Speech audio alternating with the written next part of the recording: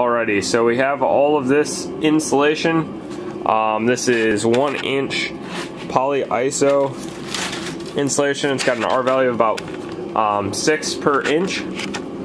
So we're going to use that along with um, these are a bunch of pieces that were already in the van. So we're going to try to utilize as much of that and um, start going to town, putting it inside the van.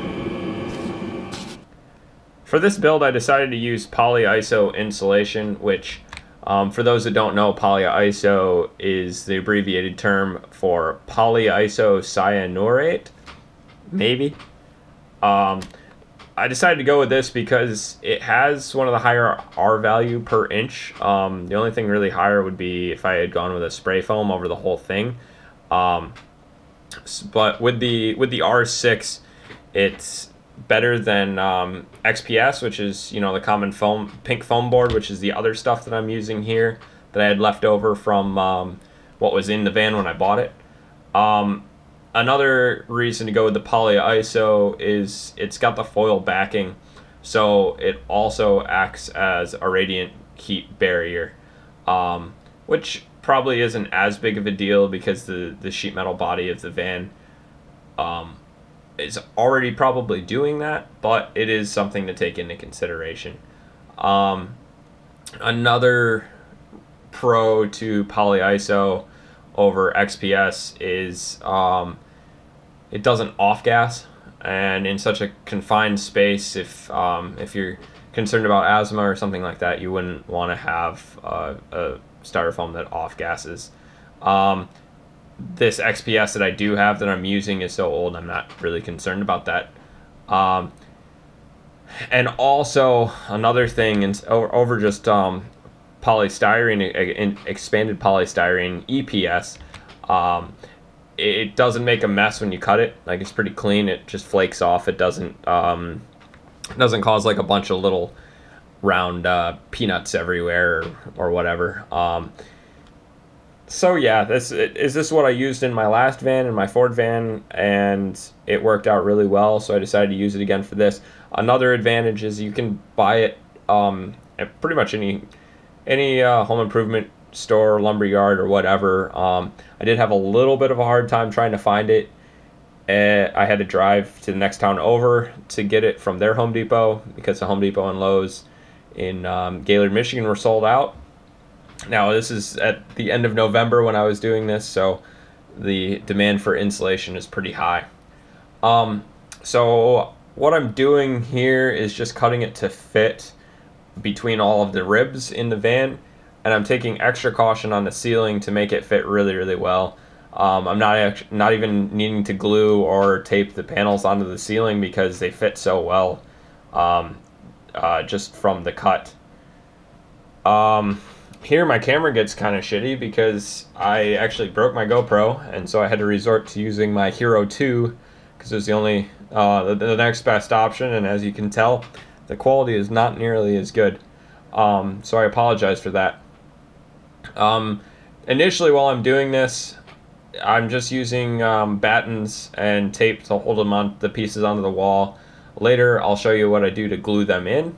Um, but for now, I'm just doing this. Um, in the ceiling and in the floor, where I would like to have the highest R value, especially in the ceiling, I don't want to sacrifice the height by having two layers of foam. So I'm only putting one layer. In the walls, I have enough room that I'm actually going two layers thick. So I'll have an R value of about um, 11 or 12 because I am using a lot of the XPS, the pink foam, in the walls. So um, just trying to get, you know, the highest R value and the most coverage that I can with what I have. Once I get finished with all of this, I'm actually using spray foam to glue it in, and I'll talk a little bit more about that. Alrighty, I got all of the insulation fitted. Um, everything's all done. I haven't put this section up in the front, but I do have the piece cut there for the roof. Um, so now the next step is I'm taking this great stuff, window and door. I went with the window and door because it's flexible and what I'll be doing with it is spraying it and gluing all these panels in. So like a lot of this stuff I have battens holding it right now just to keep it up there. um, but I'll be gluing it in with this, and um, so that should be pretty interesting.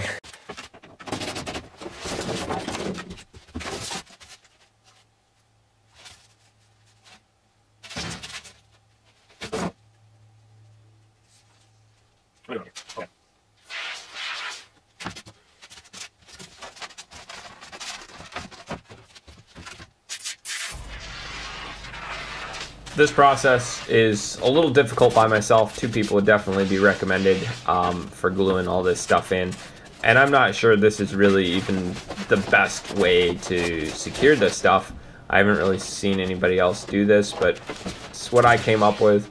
And I was a little concerned with, with rust, um, but I did do, if you saw my previous video, um, the wool wax, uh, rust prevention everywhere, and also this the great stuff spray foam is not supposed to be moisture trapping. So it shouldn't trap too much moisture. But if I don't get all these panels sealed in completely then there could be some moisture buildup between the panel and and the body um, which I'm definitely not going to be able to seal these completely. So that's a little bit of a concern but I also don't want the styrofoam to rattle around and squeak and vibrate while I'm driving down the road. And I'm making this video now post-processing after everything's been done and I've been using the van and I'm happy to report that there are no squeaks coming from the insulation. So this did work.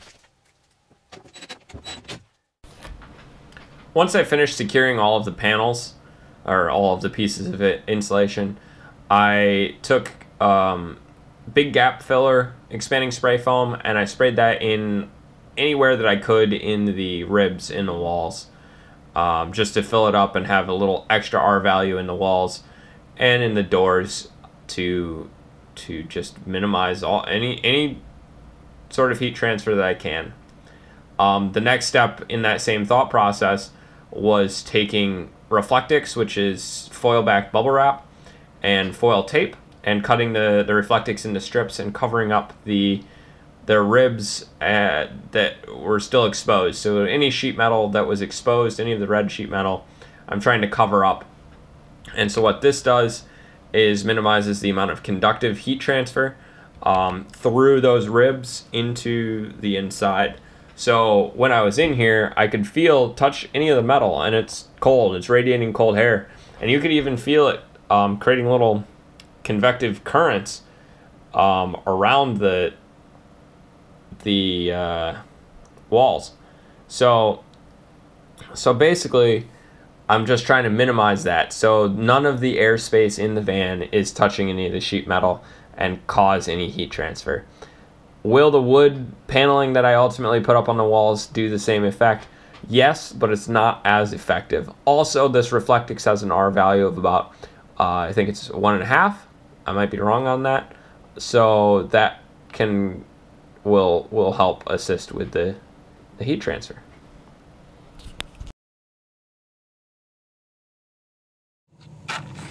Alrighty guys, so um, the walls are done. And now I'm moving on to the floor.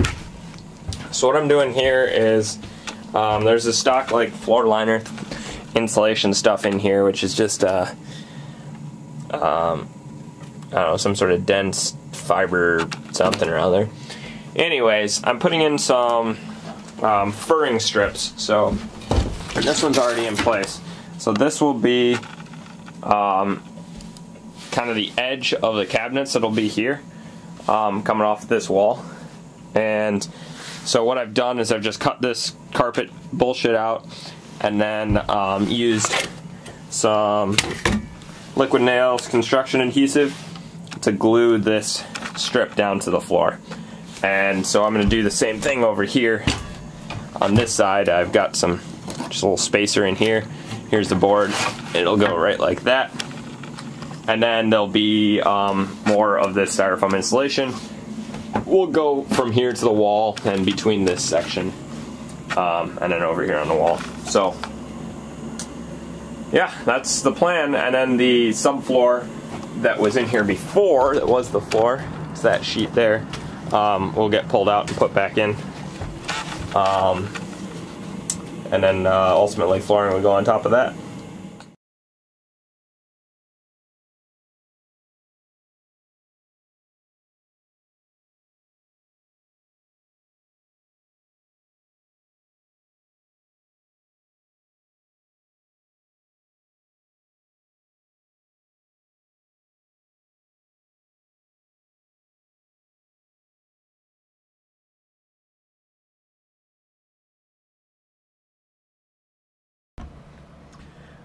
Once we get the flooring back in, that concludes all of the insulation and also concludes this episode.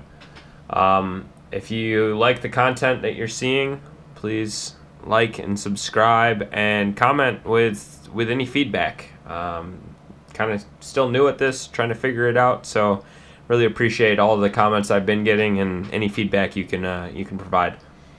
Um, stay tuned for the next episode hopefully next week I can get that uploaded and it'll go through how I do all the wood paneling for the walls and the ceiling.